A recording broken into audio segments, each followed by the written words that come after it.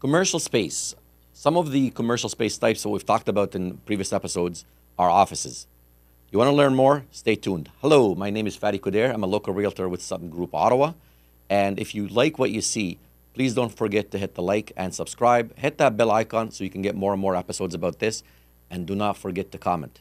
Let's talk about offices and office commercial space. Offices are one type of real estate investments that are specifically commercial, mainly for white collar business and some blue collar business as well. There are many different types of office buildings that you can go out and, and look into. And we're going to start with types of real estate assets that these offices are. And most of the time are, you know, looking at a type A, type B, type C. And that actually gets determined, we'll cover that in another video, but that gets determined by the age of the building, the amenities that it has, the location it has, and so on and so forth. Let's dig into the different types of offices. Something called Central Business District or CBD. What these are, you know, those are big high-rise buildings that are like downtown, for example, for federal governments. If you're looking at around downtown Ottawa, you know, you're looking at possibly the uh, around the Parliament, uh, buildings that are on Sparks, buildings that are on Bank Street. And what we're talking about here are multi-layer buildings, you know, high-rise with elevators, security, the whole nine yards. 161, for example, 161 Elgin is a perfect example for that. What tends to happen with these, a lot of the times you're going to have maybe one or two major sort of big offices that are renting the space. Sometimes it might be the whole building. For example, if you look at Shopify, the whole building is for Shopify. Type 2 is commercially zoned homes.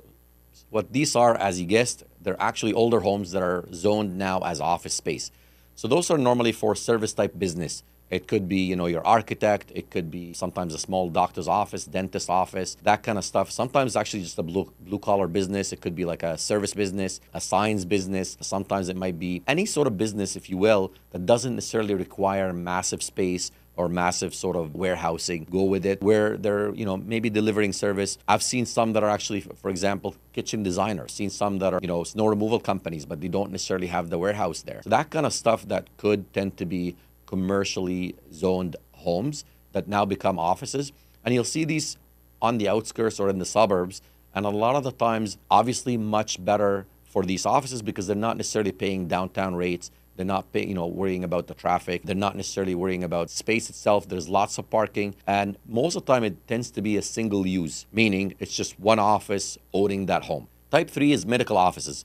So those are very, very specific. So I'll give you an example. This could be, for example, a surgeon's office. Could be plastic surgeon. Actually, I've, I've seen a few in uh, Canada where the whole building is set up as a medical office. These ones tend to have a ton of upgrades, a ton of updates, lots of plumbing, lots of lighting, and very specific. In fact, some of these costs per square foot tend to be higher. Sometimes it might be on the two, three hundred dollars per square foot because it's very specialized. For example, they might have a surgery room. They might have uh, things like sanitation unit. They might have a specific sort of kitchen requirements. You know that kind of stuff. And the cool thing about those ones, if you are the landlord, they most of the time they tend to be long term because obviously to get up and, and go find another medical facility to outfit it the same way, it's going to cost you a ton more. I'll give you a very, very simple example. One of my friends actually owns a plastic surgeon office, and it did cost him a little roughly around 1.5 million to outfit the building and purchase it. So that's a lot of money when you're looking at a small little house that they've turned into a medical office.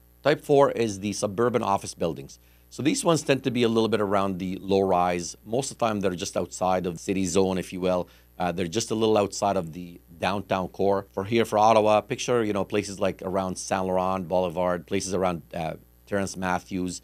Uh, you know, those are most of the time they're a small little complex with maybe two or three buildings, low rise, two or three uh, levels, and it's got tons and tons of offices that are not necessarily looking at paying a ton of premium, if you will, going downtown. Uh, they want that traffic they don't necessarily want the heavy traffic. They don't necessarily want to be caught in rush hours. A lot of the times they tend to have, you know, uh, the folks that work there tend to live close by as well too. The cool thing about these is that they are a little bit easier to find, a little bit easier to rent, and most of the time they're a little bit on the riskier side for investors because again, you know, it's less risky, you know, it doesn't cost as much, and it's easier to outfit as well. So there you have it. Those are the four types of, of office space that you can lease. My name is Fady Kuder.